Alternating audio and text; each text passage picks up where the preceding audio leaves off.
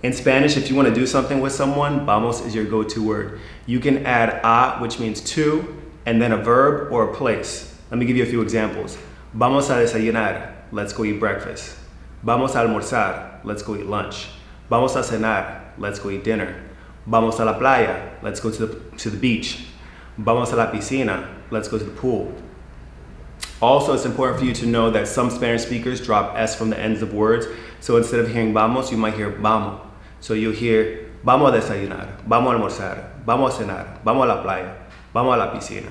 Okay? Notice when I said vamos a almorzar, not only did I drop the S, but I got rid of one of the A's. That's because in Spanish, a lot of times when you have two vowel sounds, similar vowel sounds that run into each other, they get blended. So instead of hearing vamos a almorzar, you'll hear something like vamos a almorzar,